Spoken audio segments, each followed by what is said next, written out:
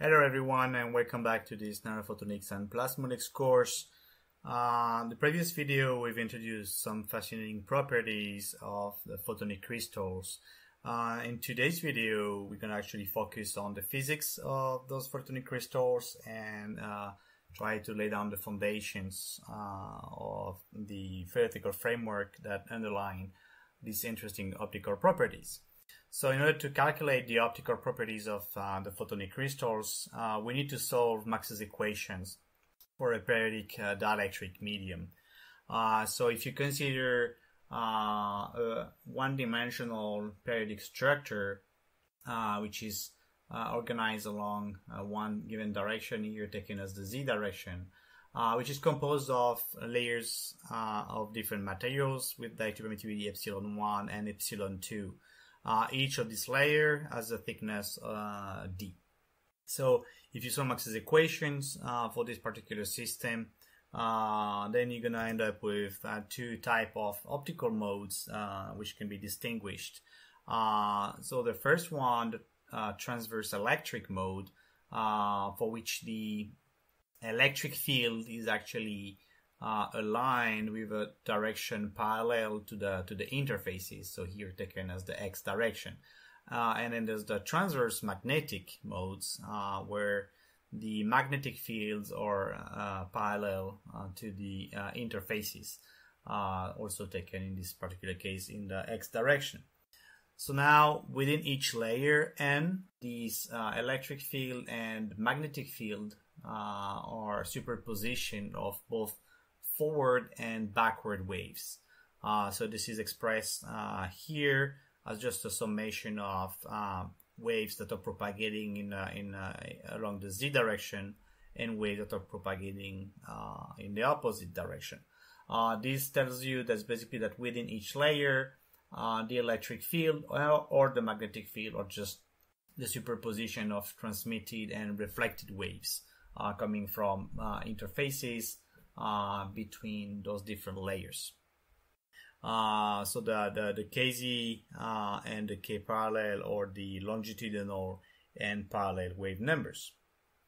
Uh, so in order to determine those coefficients A and B, uh, one need to uh, to actually calculate and apply the boundary conditions between the, the different layers. So if you look at the boundary conditions between a layer N and a consecutive layer n plus 1, uh, then we have boundary conditions for this transverse electric mode, uh, which is going to look at the continuity of the uh, longitudinal component of the electric field uh, or the longitudinal component of the magnetic field. Uh, those two equations where we have the derivatives of these electric and magnetic fields uh, directly come from the transverse component continuity of the electric and magnetic field. Now, if you inject the expression for the electric field and magnetic field uh, that was laid uh, just the previous slide into those uh, boundary conditions, uh, then you're going to end up with uh, expressions that connect the e, A and B coefficients with the A n plus 1, A, B n plus 1 coefficients. So we have uh, two equations uh, that are actually connecting uh, four coefficients. So we have the coefficient A and B uh, in layer 1, which correspond to uh, material uh, epsilon 1. And then we have the coefficient A n plus 1, A B n plus 1, which correspond to the materials 2 or epsilon 2. So we have two equations for unknowns, uh, so we can actually apply the boundary conditions between n uh, and n minus 1 uh, this time and obtain two very similar equations. Um, so this is the, the, these are the four equations that we have. Uh, we have four four equations, but now we have six unknowns. So we have uh, a n, b n, a n plus one, b n plus one, a n minus one, and b n minus one. So we have four unknowns and six equations. So we cannot solve these uh, this system of equations, equations for the moment, and we need to introduce, in fact, the Floquet Bloch theorem in order to solve uh, this system. So the Floquet Bloch uh, theorem simply states that uh, if uh, we have an electric field uh, within a periodic medium, with a periodicity uh, of 2d, then therefore the electric field uh, in position z uh, plus 2d, so z plus once uh, one time the periodicity, is simply the electric field at uh, position z uh, times a phase a phase factor. So this exponential introducing a phase factor between the, the, the electric field at position z and electric field at position z plus 2d.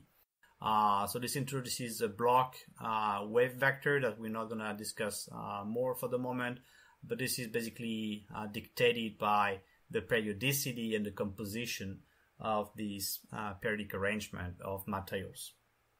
So with this with this Bloch theorem, so we have this relationship that allows to express the electric field between between different layers we have also a similar equation for the for the magnetic field, uh, and this basically uh, really allows to express the uh, a, uh, plus g as a function of a n minus g, uh, and we have the same for uh, for the the b coefficients. with this introduction here, we can reduce the number of unknown to four. So then we have four equations with four unknowns, which can be solved uh, we, uh, we end up with this uh, characteristic equation. Uh, so we have uh, this cosine 2 times the Bloch wave vector times d, which is the thickness of a single layer. And then we have this, this long term on the right hand side of the equation. So because we have a cosine function on the left hand side of this equation, therefore this right hand side of the equation must be in the range negative 1, 1. Uh, so because some for some values these we actually not uh, be satisfied. So if you if you choose some kz uh, values that do not satisfy this equation, uh, this is gonna form what we call the band gaps. So the band gaps are just basically absence of solutions. Uh, just to illustrate this, uh, if you take uh, the case of a normal incident optical excitation, uh, then therefore the the longitudinal wave numbers kz is expressed as, as follows. We have the square root of the dielectric permittivity in medium 1 and medium 2. Uh, we have omega, which is the frequency of the optical excitation, uh, which is also uh, 2 pi c over lambda, the wavelength, uh, over c. Uh, so if you consider this particular normal excitation, you consider that the two materials epsilon 1 and epsilon 2 are with uh, dielectric permittivities of 2.25 and, uh, and 9 uh, respectively. Uh, so if you take an optical excitation with uh, a wavelength of 12D, so basically you can substitute this, this value to calculate the actual KZ value, and then you inject that into the characteristic equation. then you should end up with the right hand side of this, this equation equal to negative 0.9. So negative 0.9, uh, this is within the range negative 1, 1. So therefore, 12D can actually propagate through the photonic crystal because it's solution of this, uh, this equation. Uh, on the other end, if you take lambda equal 90, uh, you calculate the corresponding KZ uh, values, you inject that into the characteristic equations, and you end up with the right hand side of the equation equal to negative 1.2. So one negative 1.2, uh, which is equal to negative 1. So obviously, uh, lambda equal 90 is not a solution uh, of this characteristic equation, and therefore this particular wave with this particular uh, wavelength and normal incidence cannot propagate through the photonic crystal. And this is what uh, we know as the photonic band gap. So let's discuss a little bit uh, the physics behind this photonic band gap.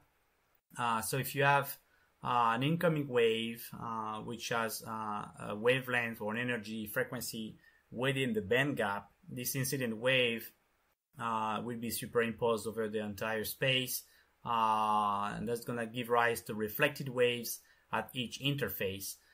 each of these refracted waves from each of the periodic elements will actually be in phase. Uh, and these in phase reflected waves uh, will interfere uh, with the incident wave within the periodic structure and will give rise to stationary waves that actually are decaying uh, in space and will not propagate uh, through the periodic crystal. So this is uh, when the energy of this incident wave is actually in the band gap. So we have uh, constructive interferences, uh, destructive interferences between uh, the reflected waves and the incident wave. Now, uh, if it's not in the band gap, then all the reflected waves will actually be out of phase uh, respect to each others, and then we cancel out. So then in the end, you have only this incident wave that will propagate freely through the photonic crystal. So this is the physics behind those those uh, those equations. Uh, so how does it look like? Uh, you can actually uh, calculate uh, what are the values uh, of energy that allows propagation of, of fields inside a given photonic crystal. and plot this for different parallel K vectors. so you have the TE modes and the TM modes for the case of a one-dimensional crystal. So all those gray areas here are actually modes that are allowed to propagate. So these are combinations of uh, k vectors and energies uh, that are allowed to propagate through the photonic crystal. So if you look at this particular case where k parallel is equal to zero, this is normal incidence uh, respect to the to the surface of the the, the 1D photonic crystal. Uh, so you see that we have this region where there's no mode available. So this is the normal incidence band gap. So if you have normal incidence, uh, like we, we, just discussed as, uh, in the example, uh, if you pick a wavelength of 9D, uh, then you fall within this range and therefore there's no mode available. Nothing is going to propagate through this photonic crystal. Now, if you're in the 12D, then you're going to be in the in the region below. Uh, so we are higher wavelength and therefore we are lower energy and therefore the mode will be able to propagate within the photonic crystal. So in 1D photonic crystals, there's no complete uh, band gap. Uh, so what that means is that basically there's no frequency for which the propagation is actually inhibited uh, in all directions. So if I take uh, this particular example, uh, so normal incidence, there's a band gap for this particular energy. So if I take this value of 0.5, then if I just uh, tune the k vector, uh, I can reach a value here which is actually allowed. So for this particular energy, this particular k vector normal incidence is not able to propagate, uh, but I can actually obtain propagation if I change the k vector uh, to match this particular value. Uh, so there's no complete uh, complete band gap. However, if you actually consider the fact that if you have a, a wave propagating in vacuum, so the, the light line will be given by those dashed lines. So this is the, the dispersion line of light propagating in a vacuum, connecting the with the speed of light and the, the momentum of light. Uh, then therefore every k vector is going to be smaller than the, the, the, the, momentum of light we'll be able to, to propagate. In that case, we can uh, determine those complete uh, band gap regions that are enclosed within the light line. So uh, for the for this propagation of light in free space, once they, they reach the photonic crystal, uh, they will not be able to propagate at all uh, because of the, the restrictions on the K vector. So we can obtain uh, band structures uh, for uh, two-dimensional and three-dimensional periodic uh, crystals photonic crystals. Uh, we can also observe, in the case of two-dimensional crystals, also the, the TE modes and the TM modes separately. Uh, we can observe the formation of a photonic band gap in 2D and in 3D as well. In that particular case, you see that you have a complete photonic band gap, meaning that for the for this particular energy range here, then no no matter what the k vector is, light will not propagate through the photonic crystal. So this is actually considered as a, as a perfect uh, omnidirectional mirror for this particular set of frequency. You can characterize these uh, photonic crystals uh, with optical uh, measurements or optical calculations. So this is an example of transmittance. So this is uh, the light being transmitted through uh, a 10 period photonic crystal. So one dimensional photonic crystal composed of 10 periods uh, of uh, alternating materials with refractive indices of 1.34 and 3.4 uh, with those specific uh, thicknesses at normal incidence. So what we, we see here is that we have regions of uh, the spectrum where you have very large transmission. So light is actually being transmitted, uh, transmitted through for a very specific uh, region uh, of the spectrum. And then therefore we have this, uh, this very large region of the spectrum where there's no transmission. So this region is really zero transmission. So no light is being transmitted. as a total reflection. This corresponds to the to the photonic band gap. Uh, so this is a little bit misleading. Also, you have uh, you have to be careful, and we're gonna see that in the next slide. Uh, you have this uh, small portion of the spectrum between 500 and 600 nanometers where there's no transmission, uh, and you could actually easily confuse this with the photonic band gap. So keeping in mind that this is actually given at only one particular K vector value. So this is abnormal incidence when the the, the K vector is uh, along a given direction. So for this particular direction, there's no transmission in this uh, 500 to 600 nanometers range, uh, but there might be transmission uh, for a different K vectors in this particular spectral range. Uh, to better illustrate that, uh, it's better to, to compare transmission spectra with photonic band structures. So this is a comparison. so the, we have the the photonic band structure uh, shown at the center uh, for the different directions uh, in reciprocal space, so the different values of k vectors. Uh, and we have uh, on the left hand side the transmission uh, along the, the gamma m direction. So this is transmission with a k vector along this, these values. And then on the right hand side, we have transmission with a k vector, an incident k vector uh, which is uh, which is different. So this is the the gamma uh, gamma k direction. So looking at different incidences uh, on this uh, hexagonal uh, photonic crystal. So what we can see is that when we have energies that are in this in this range here, in the gamma direction, gamma m direction, or the gamma k direction, then we have a very high transmission. So we have transmission of of one uh, on uh, on the, on either uh, either case. and then we, we reach higher energies that fall into this photonic band gap. so you see that no matter what wave vector we have, gamma m or gamma k, uh, we have no mode available and therefore we, we, we have uh, zero transmission. So in this case, we have transmission which is zero uh, on, on either side. now, the comment I've made just before is something that we can see here. So we have, in this particular case, you know, gamma m direction. So in this uh, portion of the photonic band, uh, band diagram, uh, there's no mode available. Uh, so we have therefore uh, zero transmission. But this is not a complete band gap because for this uh, particular range of energy in the gamma x direction, gamma k direction, we have modes available so if you change the, the K vector, you can actually obtain very high transmission uh, within this particular uh, photonic crystal.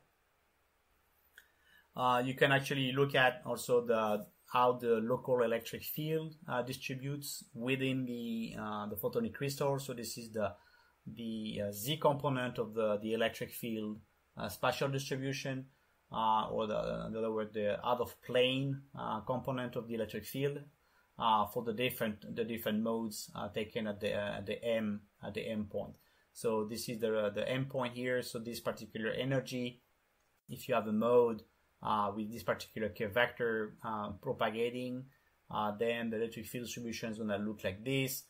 the second field distribution corresponds to this particular this particular mode, optical modes, and then we have uh, for each of these modes along the uh, the m direction, we have a specific near uh, local electric field distribution within the photonic crystal, so we can identify what type of uh, of mode we have propagating through the photonic crystals.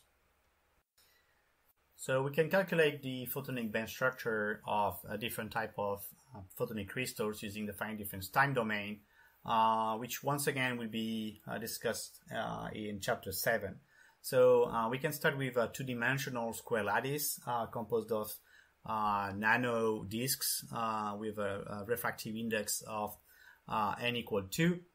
And we can actually calculate the band structure for this particular lattice. Uh, so this is a fairly sparse lattice. You see that the distance between the disk is uh, much larger than the, the size of the of the disk, and this is the band structure uh, we obtain for this particular this particular lattice. So you have the the Brillouin zone here indicating the three major uh, reciprocal point symmetry points, the gamma point, uh, the x, and the m, and you can identify uh, all those different modes. Now uh, we can see that we have two band gaps that are formed in this particular structure. We have a large band gap at lower energy and uh, another significant band gap at slightly higher energy.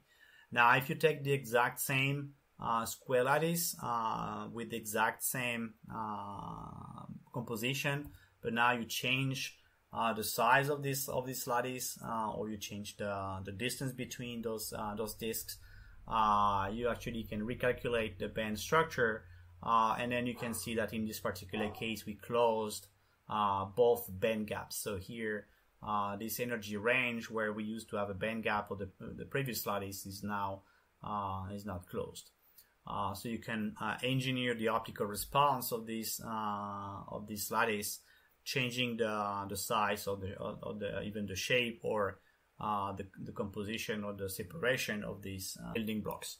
Uh, now this is uh, something you can play with uh, using FDTD. You can uh, change all the parameters you want and recalculate the photonic band structure of these photonic crystals. you can also change the type of lattice we have. So this was a square lattice. you can have a, a triangular lattice. so we have a different Brillouin, Brillouin zone because now we have a different type of unit cell uh, with different symmetry points, gamma, m, and k. Uh, so you see that with the same disks, same composition as the first one, but now going from square lattice to uh, to a triangular lattice, uh, then you uh, you also have uh, no band gap as opposed to the first one.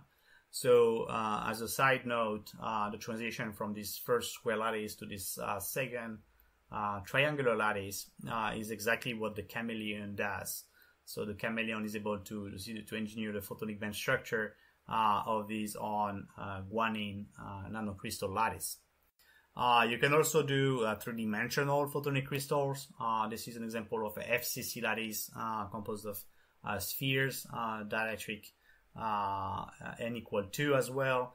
so you see that now because of the, the three-dimension lattice nature, so now we have a, a much more complex photonic diagram uh, where we have way more symmetry points. Uh, so you, in this particular case, there's no band gap, but you can actually play around with the parameters, size, composition, and separation distance between the, the nanoparticles.